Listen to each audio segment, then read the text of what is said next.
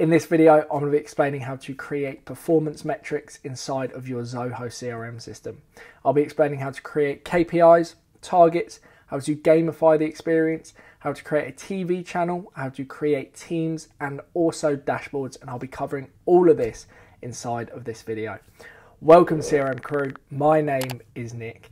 Just before we get into the video, if you are signing up to Zoho CRM for the first time, it would be greatly appreciated if you could use my link below. There's one for the US if you are based in the US and one for the EU if you are based in the EU. It really does help the channel out. So without further ado, let's get straight into the video. So once you log into your Zoho CRM system, of course, you're going to come to the home screen. Now we need to head over to the motivator area. So to do so, go to the cog in the top right hand corner, then go to the general tab under setup, and then you can see here we have the motivator. Select that and as you can see this is the screen that we will come to. This is where we can track KPIs, targets, things like that. We need to press the access motivator as it is in fact a, like a platform outside of the Zoho CRM system but it links directly into the system. So as you can see, we are on the motivator page where we can manage KPIs, targets, game, uh, TV channel, which I'll come on to in this video, teams and dashboards as well. So first off, let's go ahead and create a KPI. It's really, really simple. Go to KPIs on the left-hand side, press the create your first KPI button, and obviously we firstly need to give our, key, our KPI a name. So I'm just gonna call this deal amount and I will come on to why in a moment.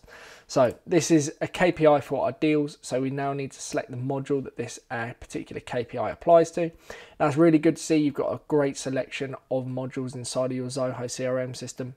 Obviously you might manage cases and KPIs for cases and things like that. In this instance, we're just going to use the deals. And then we've got record selection. So this will be more applicable to targets, but when is this, when, what are the deals based on? The closing date in the period, the created time in the period, the last activity time in the period, or the modified time in the period. I think closing date in the period and created time are probably the best two. So I'm just gonna leave it ticked. And then we can select which records the KPI would be applied to. So we've got a choice of obviously all deal records, or we can just select records that are matching certain criteria. So maybe it's a, a, value or an amount with more more than X amount, or just it could be anything. Obviously, if you select records matching certain conditions, you've got all the fields, and then you can say equals, does not equal, contains, does not contain. I'm not going to go into that in this video, as that could take a little while. You can have a play around if you would like to. And then we've got points computation. So we've got two options here. We've got set points per record, so that is obviously the count of deals associated with that particular user. So you could just say for each deal there it is equal to one point or 10 points or 100 points, or you could use the value of fields as points. Now, I really like this. I would probably go for this nine times out of 10. You can use the value of the fields, and I think the most common one is going to be amount. So essentially, if you've got a uh, a five thousand pound or five thousand dollar deal, then that is going to be worth five thousand points. And then if you've got two five thousand what or a five thousand dollar deal and a two thousand dollar deal, then the KPI is going to show seven thousand points. Okay, so you can see how that would work. Um, it's up to you. You can just set points per record. It depends, obviously, what you are trying to track.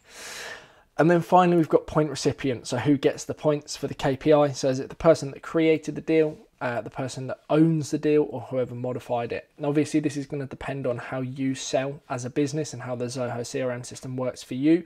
But I would probably nine times out of 10, again, go for the deal owner. I think that just makes the most sense. So once you're happy, just press the save button. As you can see, we've created our KPI. You can manage KPIs, um, the modules and the KPIs, and you can just select uh, see KPIs for certain modules this month, next month. Um, you can just see the information. So let's say you only want to see the the amount today, or the or the number of points for this week, or this month, or this quarter, or you could do custom if you'd like. And again, you can show your company user team, create additional KPIs, and we've got the cog, which is just basic settings. Now, moving on from KPIs, we then have our targets, which is obviously going to use KPIs and then we're going to set targets based on the way that the KPIs are tracked. So if you press the create your first target button, we now need to give our target a name. So let's say, I'm kind of going to make this up, but 10,000 um, deal amount. So we're essentially saying 10,000 points is the target per month, let's say. I don't know. And I apologies for the poor name I've given, but you kind of get the idea. You need to then select the KPI that this is going to be um, based on. So obviously the deal amount that we just created, that is going to be our KPI. And then we need to select the period. So daily, weekly or monthly. So like we said, deal amount, maybe I'll add that in the name as well. This is our monthly 10,000 deal amount monthly. Um, and then we can select the target for. So it's going to be on a monthly basis. The target is 10,000 and then we need to select whether the target is for the company, for a team, or for individuals.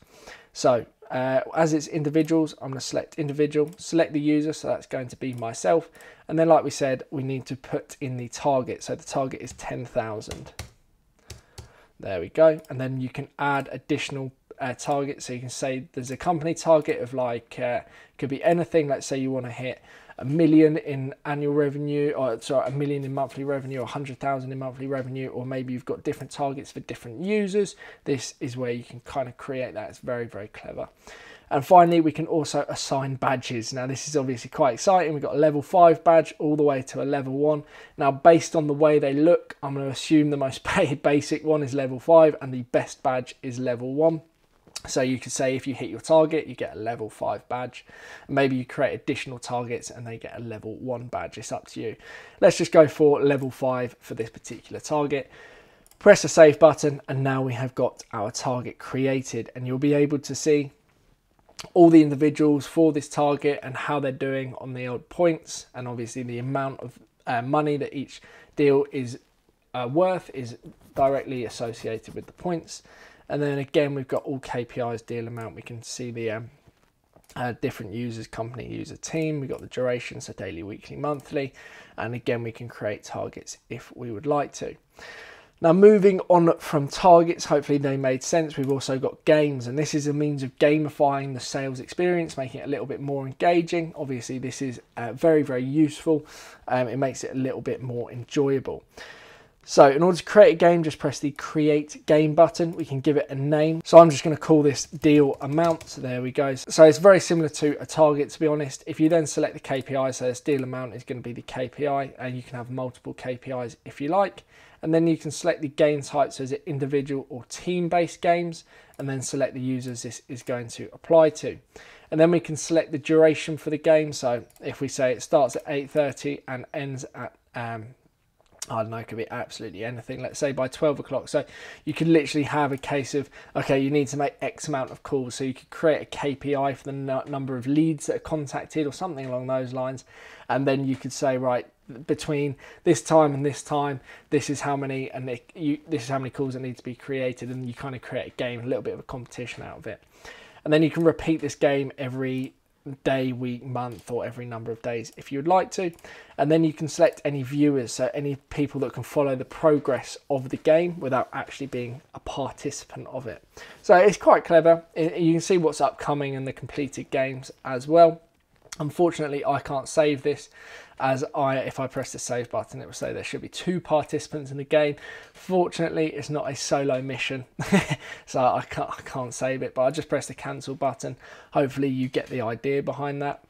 And then we've got the achievements area, and this is just going to show you the number of um, the, the number of medals like we spoke about for the targets that have been given out and the number of trophies things like that so who's won trophies how many trophies they've got Moving on from the achievements, we've got TV channel. Now, you may be wondering what exactly is this, but it's actually a really, really clever feature. Essentially, I'm sure you're all familiar in the sales department, you'll have a TV with all the sales that are going on, um, and you can track them live, and it always makes it a little bit more fun. This is essentially the same thing. You create a TV channel. If you press the plus button, you can select whether you'd like KPIs, games, or targets to be shown and then you can select which one. So let's say we're going to select the 10,000 deal monthly target. Select the type, is it user, team or company based? Obviously the target was user based and then we can select the users. So we can see everyone for this particular target or and then you as you can see if you press the preview button it will full screen and this is what they would see on the TV so it's, it's quite cool you'll be able to see obviously let's say I just did a, a 500 pound deal I'd get 500 pounds for the or 500 points for that deal, and then it would obviously slowly fill up, um, and it would transition. And what you can do, so if I press the save button, so I'll just call this example channel. You can set the transition time, so it would change screens every 5, 10, 15 seconds. Um, I can imagine that would be really quite fun, quite enjoyable. And then finally, down the bottom left-hand corner here, we have teams, and this is where you can obviously just create your your own teams. Um, it depends how you want to do that. Obviously, it depends on how you sell as a business. Teams are obviously really good. I think people strongly recommend teams of three are the best way, and you can kind of mix and match and draft your team. So maybe you've got a weaker salesperson that can learn off a really good salesperson. That, that is why you create a team and then add users, give the team a leader, and then you can give them a logo as well if you want. So it's very very simple. And then like like we've just gone through the KPIs, the targets, etc. You just create them for teams as opposed to individuals. So I'll just press the cancel button there. Hopefully that is very very self-explanatory. You can always edit teams whenever you want, switch people in and out, like changing the drafts or the the transfers between different teams. And then finally, up the top here, I know I said finally for teams, but we've actually got dashboards. You'll be able to see uh, just KPIs, targets, things like that. Just give you an overall insight into the motivator and how everything is going on inside of the sales or whatever you are tracking. It could obviously be leads, absolutely anything. And if you see at the top here, use a drop down menu, you've got the different um, different views. You could create multiple dashboards. You could have a, a deals dashboard, a leads dashboard. Uh, maybe you are doing a KPIs or targets for uh, cases and solutions as well. So you've got all of those different options there. And then once these are saved, you'll be able to go back into your Zoho CRM system, manage your deals, and then come onto the motivator area, put the TV channel on, and watch the competition go and make it a little bit more enjoyable. It's very, very fun. Hopefully this video has been of value um, and I will see you in a moment's time. Hopefully you are now all set to use all the different metrics across all the different modules inside of your Zoho CRM system. If you have enjoyed the video or found it at all useful, please consider giving it a like, possibly even subscribing.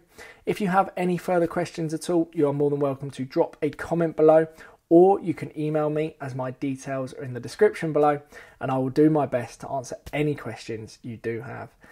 Thank you ever so much for watching, and I will hopefully see you shortly in the next video. Thank you and goodbye.